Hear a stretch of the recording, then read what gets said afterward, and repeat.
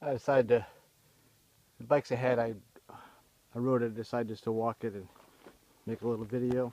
It's very scenic here. It's pretty humid out today, but enjoying the ride.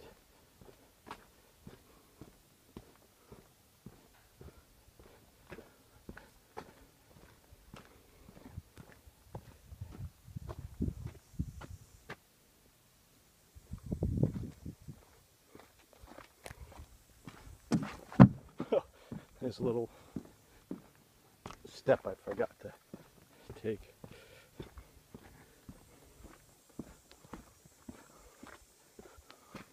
I walked down that embankment. Now this is cool.